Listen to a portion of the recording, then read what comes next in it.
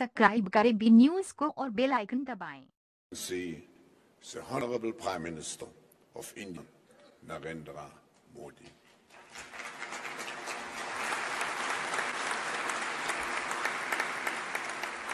Razu Daiba Kutum Bakum, the new often quote is closely aligned to the theme of this year's annual meeting.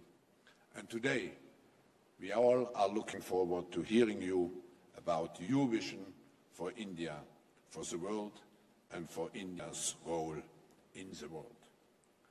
Personally, I would like to thank you for your country's continuous support of the World Economic Forum for nearly four decades. And as evident here in the room, for the strong Indian delegation, which has become a tradition, a delegation of government and, of government and business leaders, and for many projects and initiatives. Have your support. And ladies and gentlemen, please welcome His Excellency, the Honorable Prime Minister of India, Narendra Modi.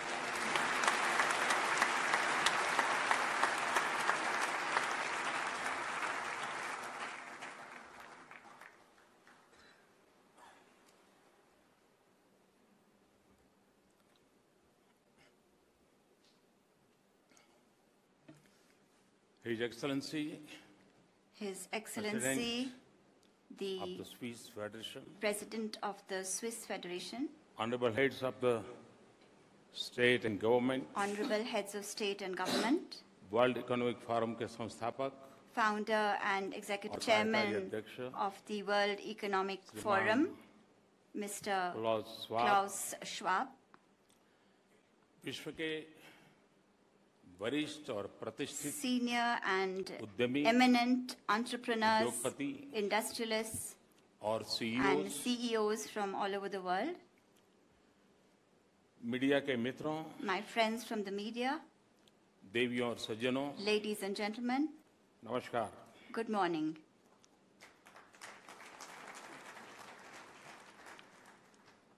Davos में world economic forum की इस I 48वीं am वार्षिक बैठक delighted में to be शामिल here होते with हुए you in Davos for the 48th बहुत ही annual हर्ष meeting हो रहा of the meeting of the World Economic Forum.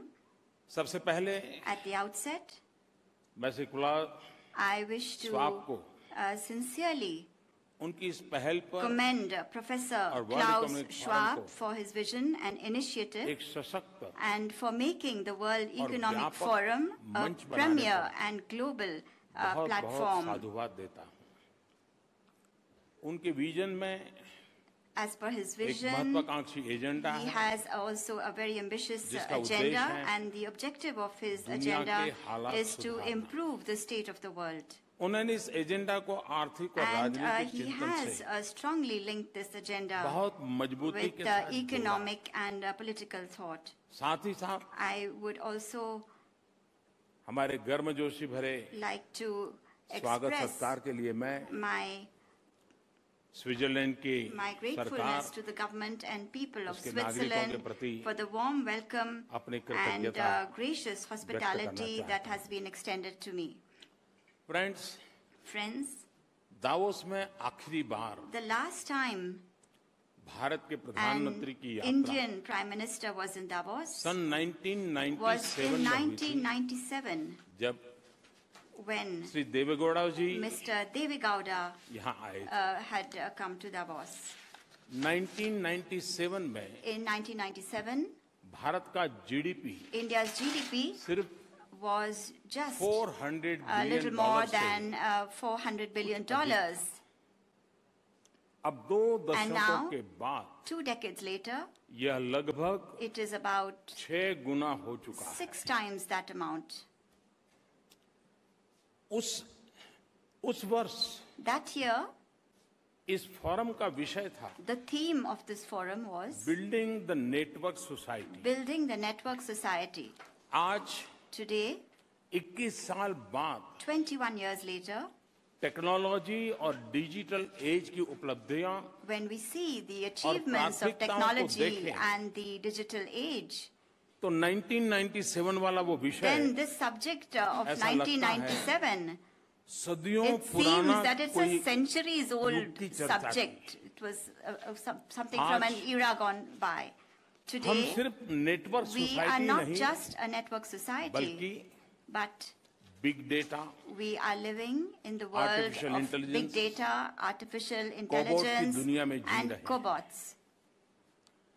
1997 में In 1997, यूरो मुद्रा प्रचलित नहीं the थी euro was not yet a currency that Asian was being financial used, crisis का and the कोई Asian financial अता पता crisis नहीं था। was nowhere on the और horizon, and nor Brexit were के there आसार any signs or indications of Brexit.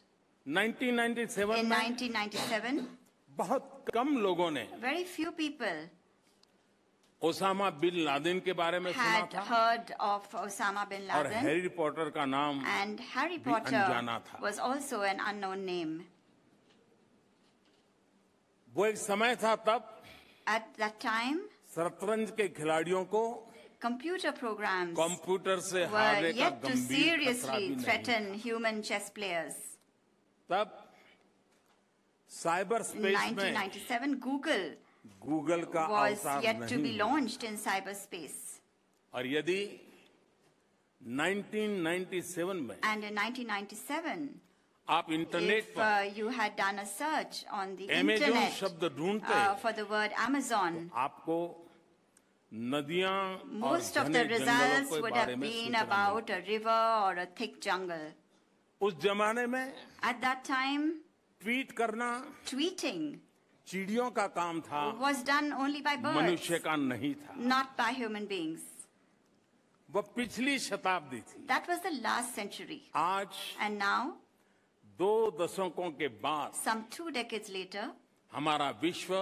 We live और हमारे in world we live in a society जटिल network that is a network network है। Of many complex network उस जमाने में भी at that time as well Davos Davos अपने समय से आगे was obviously ahead of the curve और यह वर्ल्ड इकोनॉमिक फोरम का भविष्य का this World Economic परिचायक Forum was a precursor for the future. It was आज भी indicative of Davos the future. Today as well, अपने समय Davos से आगे is uh, a lot ahead of its इस time. वर्ष This year, फोरम का विषय the theme of the forum creating a is shared uh, future creating in a a shared fractured world future in a fractured world. यानी This means दरारों से भरे विश्व में that we, uh, in, in a साझा world भविष्य का uh, that is निर्माण full of fault lines and rifts, we नए- need नए to build a बदलावों से, shared नई- future नई with the new शक्तियों changes से, taking place, with the new forces आर्थिक arising. क्षमता और The balance राजनीतिक शक्ति का uh, between संतुलन economic capabilities and बहुत political तेजी से power is changing at great speed. इससे विश्व के स्वरूप में And because of this, दुर्गामी we can परिवर्तनों की see छवि and दिखाई दे रही है foresee far, far-reaching changes in the nature of this विश्व के world सामने with respect to शांति peace, स्थिरता stability, सुरक्षा and security. ऐसे विषयों को The लेकर world today नई और गंभीर is चुनौतियाँ facing many new and uh, many हम serious अनुभव कर रहे uh, challenges, and we are experiencing them. Technology driven transformation is deeply influencing the way we live, the way we work, the way we behave, the way we talk to each other, also influencing international groups, politics, economics. This technology-driven world has influenced every aspect of our lives. Technology has the ability to link, to bend, to break. And I, uh, I can say this responsibly. Technology has the ability to bend, break, link. And a very good example of all these three aspects can be seen in the use of social media. Today, data, data is the biggest asset data के global flow से so much so that the global flow of data अवसर बन रहे is creating the biggest opportunities सबसे बड़ी चुनौती and also the greatest challenges data के पहाड़ के पहाड़ बनते we are accumulating mountains and mountains of data उन पर नियंत्रण की दौड़ लगी there a race now to be able to gain control of this data because it is believed कि जो डेटा को काबू में रखेगा ही ही will be able to control the data he is the one भविष्य पर who is going to be अपना able to वर्चस्व dominate the world. इसी तरह The same way, cyber security और in nuclear the safety area के of क्षेत्रों uh, में भी cybersecurity and nuclear safety as well, तेजी से बदलती हुई टेक्नोलॉजी the rapidly changing और technology विनाशकारी शक्तियों के विस्तार से and the increase in destructive पहले से चली forces आ रही चुनौतियां has made our और भी earlier गंभीर होती challenges जा रही हैं। even more serious. विज्ञान तकनीक और Science, आर्थिक प्रगति के technology, and नए economic आयामों में progress have new dimensions. And they have, on the one hand, the ability to show mankind different avenues that lead to uh, prosperity. And on the other hand, these changes are also creating fault lines and rifts that can inflict a very painful wound. A lot of changes are creating walls and barriers which have made for humanity शांति और समृद्धि के रास्ते को the path to peace and दुर्गम ही prosperity, नहीं। not just inaccessible, दुसाध्य but बना दिया an uphill and arduous one. ये fractures These fractures, divides- these divides, ये बैरियर्स these barriers, विकास के अभाव की ही these are due to a lack of development, they are due to poverty, they are due to unemployment, they are due to a lack of opportunities, and they are also due to uh, domination over natural and uh, technical resources. In this context, some Important questions come to mind which require some adequate answers for the legacy, for the kind of world we leave for future generations and for the future of humanity. Is our global order widening these fault lines? Is it increasing these distances? ये कौन सी शक्तियां हैं What are the powers जो सामंजस्य के ऊपर that give preference अलगाव को to तरजीह देती है isolationism as opposed जो to सहयोग के harmony, ऊपर which give preference to संघर्ष को हावी conflicts करे। over cooperation? और हमारे पास And what are the वो means कौन से साधन that हैं? we have available to us today? वे कौन से रास्ते What हैं are the paths that we can follow जिनके जरिए through which हम इन दरारों We और can दुनिया को मिटाकर eliminate these rifts and these दरारों distances? और दूरियों को दरारों और दूरियों को How can मिटाकर we eliminate these uh, rifts, एक these सुहाने distances, और साझा भविष्य के सपने and को how can we realize the साकार dream कर सकते of a beautiful shared future? Friends Friends, Bharat भारतीयता being a representative of और India, भारतीय of विरासत का Indianness प्रतिनिधि and होने के Indian नाते heritage, मेरे लिए for me, इस फोरम का विषय the subject of this forum, the जितना theme of this समकालीन forum है, is as contemporary उतना ही as it is समयातीत भी है timeless. समयातीत इसलिए Timeless because क्योंकि भारत में since time अनादिकाल immemorial से in India, हम मानव मात्र को जोड़ने में विश्वास करते we हैं have only believed in linking people, उसे तोड़ने में नहीं not in breaking them उसे and बांटने not में नहीं in dividing them. हजारों साल पहले Thousands of years ago, Sanskrit भाषा में लिखे गए in the ग्रंथों में first scriptures written in Sanskrit, भारतीय चिंतकों ने जो कहा Indian thinkers said, और जिसका उल्लेख and अभी प्रोफेसर which स्वाब was ने uh, mentioned as well अपने by भाषण में Professor किया। Schwab in his speech a और वो short while है- ago, and that is भारतीय चिंतकों ने कहा है Indian thinkers said, वसुधैव कुटुंबकम Vasudhaiva Kutumbakam. This means पूरी दुनिया all the world एक परिवार है is one family. तत्वतः This means हम सब that all of us, एक परिवार की तरह बंधे हुए we are link together as one family हमारी नियतियों में आर डेस्टिनी एक साझा सूत्र हैज़ अ कॉमन थ्रेड हमें जोड़ती that links all of us Vasudhaiva Kutumbakam की यह धारा दिस आइडियोलॉजी ऑफ़ वसुधैव कुटुम्बकम इट इज़ टुडे सर्टनली दरारों more meaningful to eliminate all these fault lines and uh, distances. It is very relevant to us today in today's world. However, there is a very serious matter that in order to fight the formidable challenges that we face today in the world, there is a lack of consensus between all of us. जहाँ एक और सौहार्द और सहयोग होता है, वहीं कुछ न कुछ मनमुटाव, मतभेद होते रहते हैं।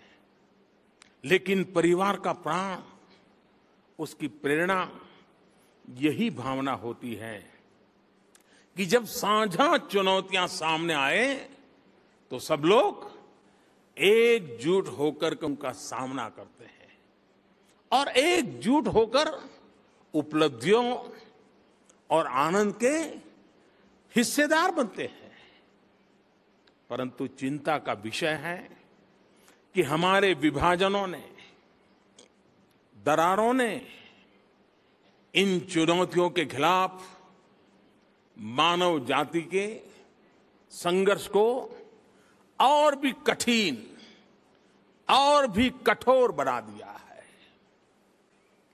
फ्रेंड्स जिन चुनौतियों की ओर मैं इशारा कर रहा हूँ, उनकी संख्या भी बहुत है और विस्तार भी बहुत व्यापक है।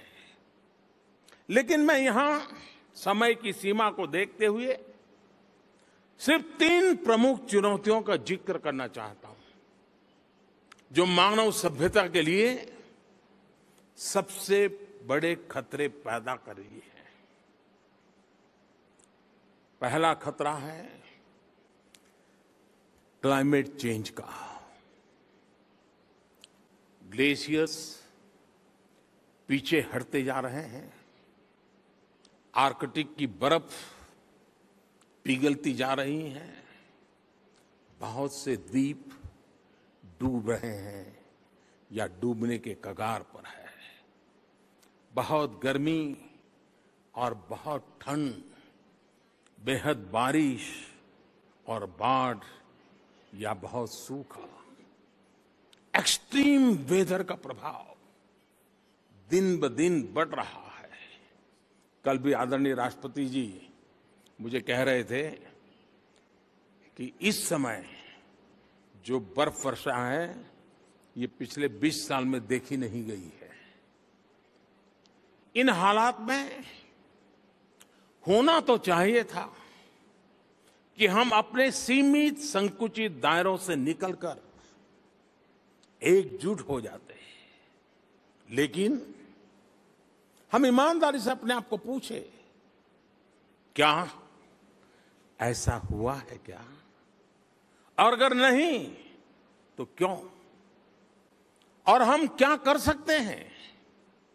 मिलकर के क्या कर सकते हैं? जो इन हालात में सुधार हो। हर कोई कहता है कि कार्बन एमिशन को कम करना चाहिए। लेकिन ऐसे कितने देश या लोग हैं जो विकासशील देशों और समाजों को उपयुक्त टेक्नोलॉजी उपलब्ध कराने के लिए आवश्यक संसाधन मुहैया कराने में मदद करने के लिए आगे आते हैं। आपने अनेक बार सुना होगा, भारतीय परंपरा में प्रकृति के साथ गहरे तालमेल के बारे में हमारी संस्कृति, हमारे संस्कार बार बार इस बात को दोहराते हैं।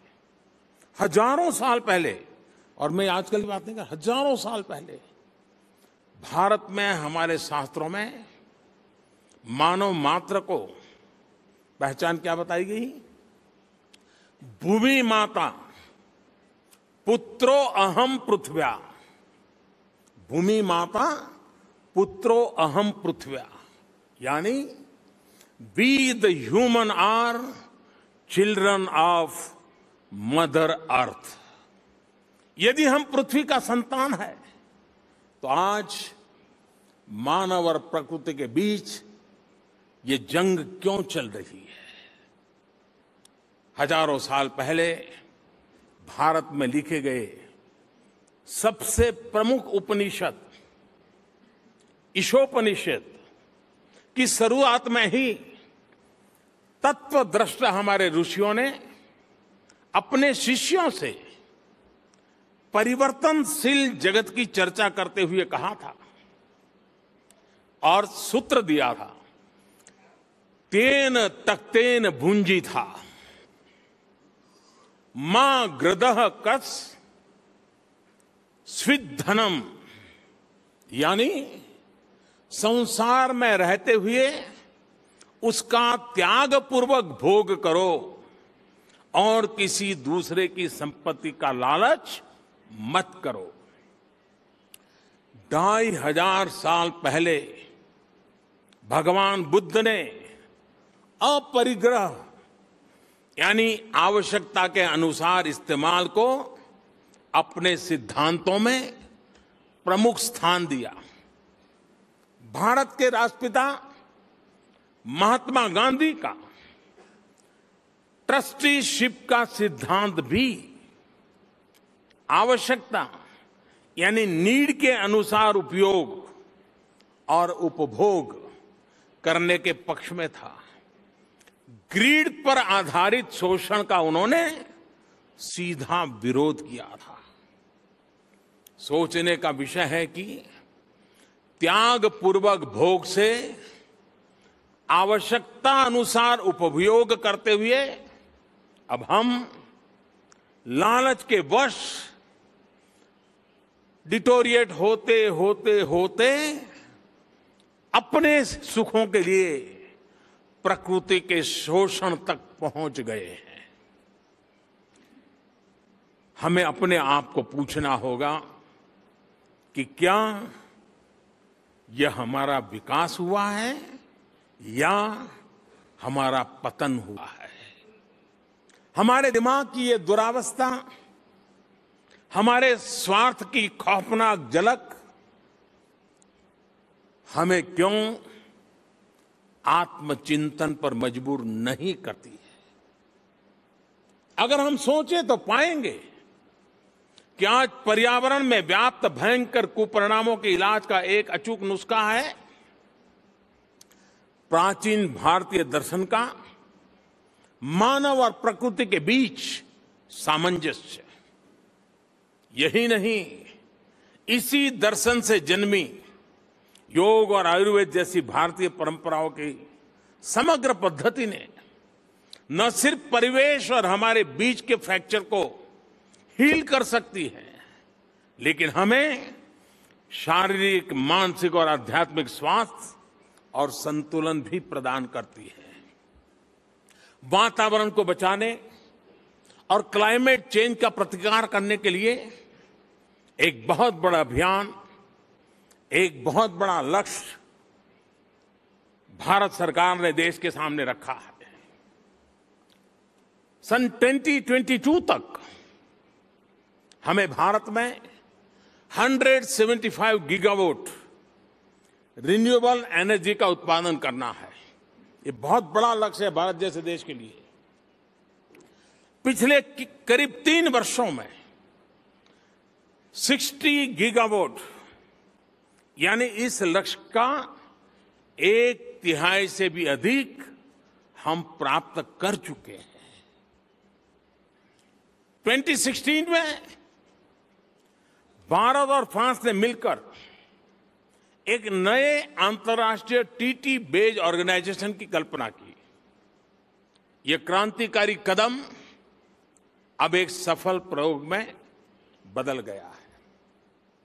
इंटरनेशनल सोलर अलायंस के रूप में यह पहल आवश्यक ट्रीटी रेटिफिकेशन के बाद अब एक वास्तविकता है।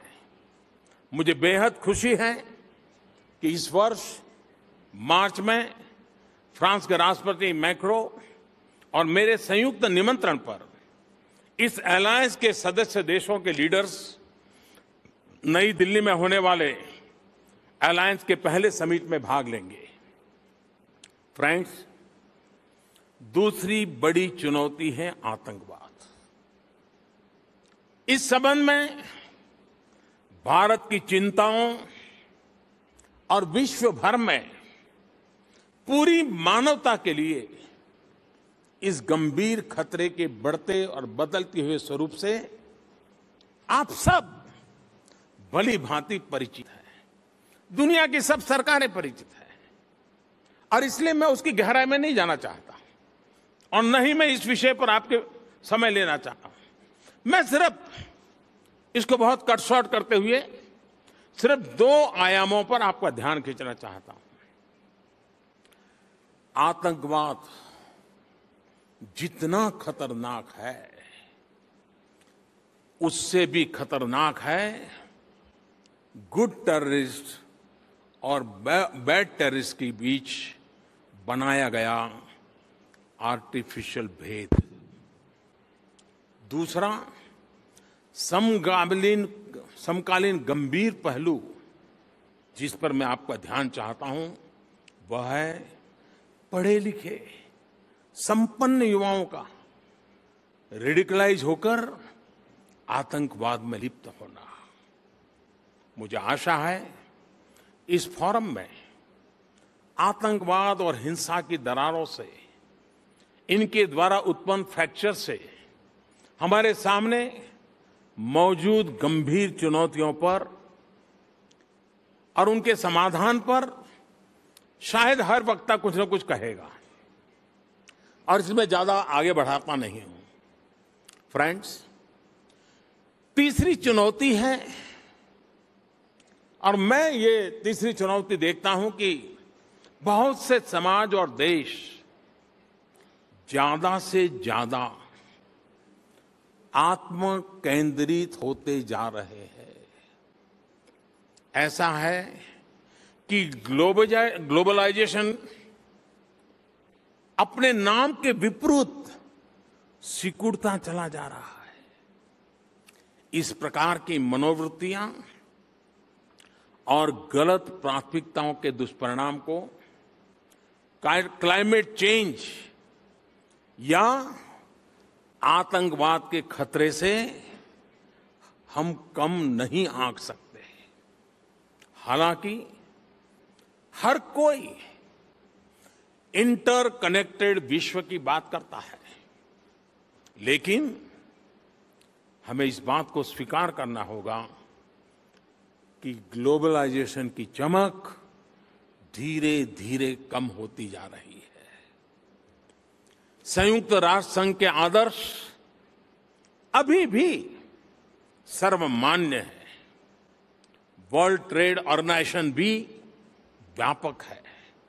लेकिन दूसरे विश्व युद्ध के बाद बने हुए विश्व संगठनों की संरचना, व्यवस्था और उनकी कार्य पद्धति क्या आज के मानव की आकांक्षाओं और उसके सपनों को, आज की वास्तविकता को परिलक्षित करते हैं क्या? इन संस्थानों की पूरी पुरानी व्यवस्था और आज के विश्व में खास तौर पर बहुतायत विकासमान देशों की आवश्यकताओं के बीच एक बहुत बड़ी खाई दिखाई है। ग्लोबलाइजेशन के विपरीत, प्रोटेक्शनिज्म और उसकी ताकतें सर उठाती जा रही हैं। उनकी मंशा है कि न सिर्फ़ वे खुद ग्लोबलाइजेशन से बचे, बल्कि ग्लोबलाइजेशन के प्राकृतिक प्रवाह का रुख भी पलट दें। इसका एक परिणाम यह है कि नए नए प्रकार के टैरिफ और नॉन टेरिफ बैरियर्स देखने को मिल रहे हैं। द्विपक्षीय और बहुपक्षीय व्यापार समझौते और नेगोशिएशंस एक प्रकार से रुक से गए हैं। क्रॉस बॉर्डर वित्तीय निवेश में ज़्यादातर देशों में कमी आई है और ग्लोबल सप्लाई चेन की वृद्धि भी रुकी हुई नज़र आती है। ग्लोबलाइजेशन के विरुद्ध इस चिंताजनक स्थिति का हल अलगाव में नहीं है। इसका समाधान परिवर्तन को समझने और उसको स्वीकारने में है। बदलते हुए समय के साथ चुस्त और लचीली नीतियों का स्वीकार करने में है, बनाने में है। भारत के राष्ट्रपिता पूज्य बापू महात्मा गांधी ने कहा था, मैं नहीं चाहता कि मेरे घर की दीवारें और खिड़कियाँ सभी तरह से बंद हो।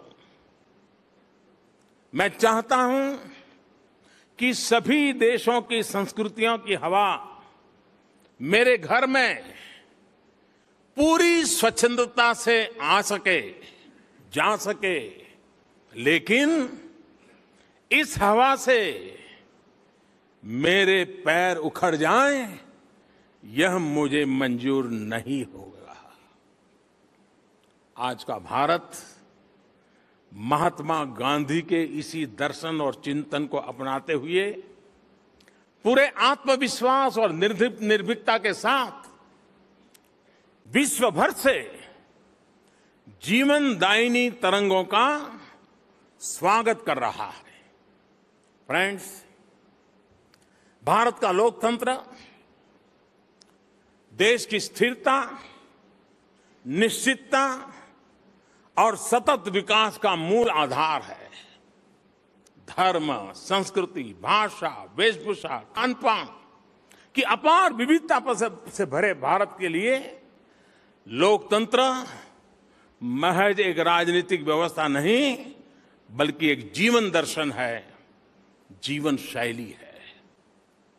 हम भारतीय यह बड़ी भांति जानते हैं और समझते हैं कि विविधता की अनेकता को सौहार्द, सहयोग और संकल्प की एकता में बदलने के लिए लोकतांत्रिक परिवेश और स्वतंत्रताओं का महत्व कितना बड़ा होता भारत में लोकतंत्र सिर्फ़ हमारी विविधता का ही पालन पोषण नहीं करता, बल्कि सवा सौ करोड़ से भी अधिक भारतीयों की आशाओं, आकांक्षाओं, अपेक्षाओं और उनके सपनों को पूरा करने के लिए, उनके समुचित विकास के लिए आवश्यक परिवेश, रोडमैप, अब टेम्पलेट भी प्रदान करता है।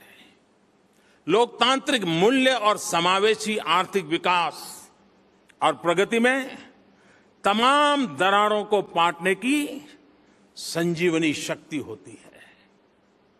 भारत के 600 करोड़ मतदाताओं ने 2014 में 2014 में 30 साल बाद, पहली बार किसी एक राजनीतिक पार्टी को केंद्र में सरकार बनाने के लिए पूर्ण बहुमत दिया है। हमने किसी एक वर्ग या कुछ लोगों के सीमित विकास का नहीं, बल्कि सबके विकास का संकल्प किया। और मेरी सरकार का मोटो है, सबका साथ, सबका विकास। प्रगति के लिए हमारा विजन समावेशी है। हमारा मिशन भी समावेशी है। यह समावेशी दर्शन मेरी सरकार की हर नीति का, हर योजना का आधार है। चाहे वह करोड़ों लोगों के लिए पहली बार बैंक खाते खुला के फाइनेंशियल इंक्लूजन करना हो, या गरीबों तक हर जरूरतमंद तक डिजिटल टेक्नोलॉजी द्वारा डायरेक्ट बेनिफिट ट्रांसफ़र करने वाली बात हो, या फिर जेंडर जस्टिस के लिए बेटी बचाओ, बेटी पढ़ाओ का अभियान हो, हम मानते हैं कि प्रगति तभी प्रगति है, विकास तभी सच्चे अर्थों में विकास है, जब साथ चले सबको लेकर के चले, सबके लिए चले। हम अपनी आर्थिक और सामाजिक नीतियों में केवल छोटे मोटे सुधार ही नहीं कर रहे हैं, बल्कि आमूल चूल रूपांतरण कर रहे हैं। हमने जो रास्ता चुना है, वो रास्ता है रिफॉर्म, परफॉर्म एंड ट्रांसफॉर्म। आज हम भारत की अर्थव्यवस्था को जिस प्रकार से निवेश के लिए सुगम बना रहे हैं, उसका कोई सानी नहीं है। इसी का नतीजा है कि आज भारत में निवेश करना, भारत की यात्रा करना, भारत में काम करना, भारत में मैन्युफैक्चर मैन्युफैक्चरिंग करना और भारत से अपने प्रोडक्ट एंड सर्विसेज़ को, दुनिया भर को एक्सपोर्ट करना, सभी कुछ पहले की तुलना में बहुत आसान हो गया है। हमने लाइसेंस परमिट राज को जड़ से खत्म करने का प्रण लिया है। रेड टैप हटाकर हम रेड कारपेट बिछा रहे हैं। अर्थव्यवस्था के लगभग सभी क्षेत्र फॉरेन डायरेक्ट इन्वेस्टमेंट के लिए खुल गए हैं। 90 प्रतिशत से अधिक में ऑटोमेटिक रूट से निवेश संभव है। केंद्र एवं राज्य सरकारों ने मिलकर सैकड़ों रिफॉर्म्स किए हैं। 1400 से अधिक ऐसे पुराने कानून जो बिज़नेस में, प्रशासन में और आम इंसान के रोज़मर्रा के जीवन में अड़चन डाल रहे थे। ऐसे पुराने कानूनों को तीन साल के भीतर भीतर 1400 कानून खत्म करने के लिए डेमोक्रेटिक सिस्टम में कितनी बड़ी ताकत लगती है, इसका आप भली भांति अंदाज कर सकते हैं। सत्रह साल के स्वतंत्र भारत के इतिहास में पहली बार देश में एक एकीकृत कर व्यवस्था goods and services tax GST के रूप में लागू कर ली गई है। पारदर्शिता और जवाबदेही बढ़ाने के लिए हम टेक्नोलॉजी का भरसक इस्तेमाल कर रहे हैं। भारत को ट्रांसफॉर्म करने के लिए हमारे संकल्प और हमारे प्रयासों का विश्व भर की बिज़नेस कम्युनिटी ने स्वागत किया है। भारत में डेमोक्रेसी डेमोग्राफी और डायनेमिज्म मिलकर डेवलपमेंट को साकार कर रहे हैं। डेस्टिनी को आकार दे रहे हैं। दशकों के नियंत्रण ने भारत के लोगों की, भारत के युवा की क्षमताओं को जकड़ रखा था। लेकिन अब हमारी सरकार के निर्भीक नीतिगत फैसलों ने, असरदार कदमों ने परिस्थितियों में आमूल चूल बदलाव लाया है। लगभग साढ़े तीन साल के कम समय में जो दुर्गामी और बड़े परिवर्तन भारत में हुए हैं और हो रहे हैं। वे सवा सौ करोड़ भारतीयों की अपेक्षाओं, उनके पुरुषार्थ और उनकी परिवर्तन को स्वीकार करने की क्षमता का यशोगान है और वो गीत गाने के लिए मैं आज आपके बीच आया हूँ। अब भारत के लोग, भारत के युवा 2025 में फाइव ट्रिलियन डॉलर की अर्थव्यवस्था के निर्माण में योगदान देने के लिए समर्थ है, सक्रिय है। यही नहीं, जब इनोवेशन और एंटरप्रेन्योरशिप के ज़रिए वे जॉब सीकर नहीं जॉब गिवर बनेंगे तो उनके लिए, उनके देश के लिए और आपके व्यवसाय के लिए कितने रास्ते खुलेंगे, इसकी कल्पना ही की जा सकती है। आप सभी विश्व के प्रमुख लीडर्स और विश्व में हो रहे परिवर्तनों से भारत की रैंकिंग और रेटिंग में हुए सुधार से और आगे के लिए जो रास्ते हमने चुना है, इन सबसे आप लोग भली भांति परिचित है। लेकिन इन सभी आंकड़ों से ज़्यादा महत्वपूर्ण यह है कि भारत के लोगों ने हमारी नीतियों का अपनी भविष्य में बदलाव किए लिए हुई नई नई पहलों और अच्छे भविष्य के सुनहरे संकेतों का भरपूर स्वागत किया है। स्वेच्छा से सब्सिडी का त्याग या फिर चुनाव दर चुनाव लोकतांत्रिक तरीकों से